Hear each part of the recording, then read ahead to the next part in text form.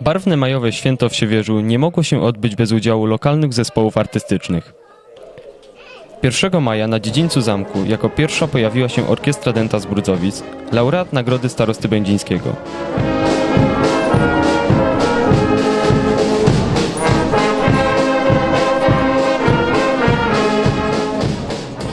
Tuż po nich wiązance tańców pod tytułem Kolorowa Wiosna zaprezentowali się najmłodsi mieszkańcy naszej gminy, przedszkolaki z publicznego przedszkola w Siewierzu. Ich wokalno-taneczny popis został niezwykle entuzjastycznie nagrodzony przez zgromadzoną na dziedzińcu publiczność. Podobają Wam się występy przed tak liczną publicznością? Tak. Nie macie tremy? Nie. Nie mam. Podobają Ci się występy przed tak dużą publicznością? Podobają. Nie czujesz się zestresowana? Nie masz tremy? Nie. Trudno jest przygotować dzieci do występu. Ja myślę, że tak. E, Zajmuje to bardzo dużo czasu, dzieci, e, uwagi i poświęcenia, ale ja myślę, że to, co przygotowałyśmy, będzie e, prezentacją naszego przedszkola. I Są to super dzieci, które pięknie się zaprezentują. Czy dzieci występowały kiedyś przed tak dużą publicznością? Tak, często zdarza się nam występować w Domu Kultury, e, na festynach, różnego rodzaju festynach, na majówce siewierskiej również.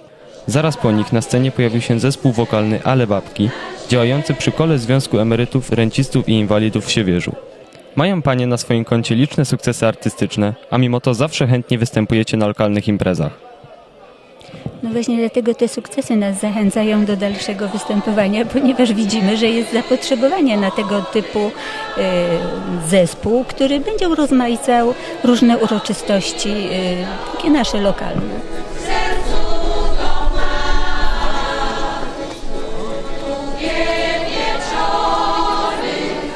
W kolejnej odsłonie można było wysłuchać chóru męskiego z Żejsławic. Zespół jest laureatem licznych festiwali oraz przeglądów, co świadczy o wysokim poziomie artystycznym, jaki prezentuje. Skąd narodził się pomysł na utworzenie takiego właśnie chóru? E, Ten pomysł narodził się ładnych parę lat e, temu. E, Mnie jeszcze wtedy w tym chórze nie było, ja go nie prowadziłem.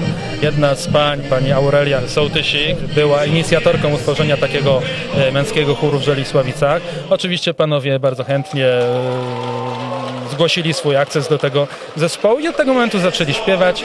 W momencie, kiedy ja już przyszedłem prowadzić chór, ten trzon zespołu był i od tego czasu dobieramy wspólnie repertuar, e, tworzymy to życie muzyczne właśnie e, tej grupy wokalnej. Jesteście panowie laureatami licznych festiwali i przeglądów. Moglibyście panowie wymienić najważniejsze z nich? E, Jeśli chodzi o najważniejsze e, osiągnięcia zespołu, na pewno jest to udział w e, ogólnopolskim festiwalu, festiwalu śpiewaków i kapel ludowych w Kazimierzu nad Wisłą.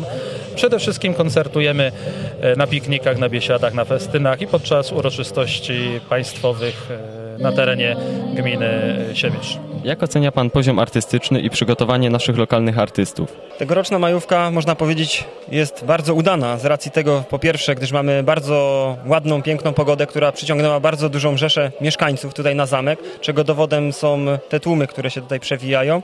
Jak również jeżeli chodzi o tą część artystyczną, dzisiaj mamy możliwość podziwiać to wszystko, co nasi lokalni art- artyści robią w pewien sposób dla promocji miasta i gminy Siewierz poprzez swoje występy, nie tylko na terenie miasta gminy Siewierz, ale również na terenach sąsiednich gmin. Możemy również podziwiać i posłuchać artystów, którzy w ostatnim czasie zostali wyróżnieni Nagrodą Starosty Będzińskiego. Mam tutaj na myśli Orkiestrę Dentą z Brudzowic, jak również zespół Ale Babki.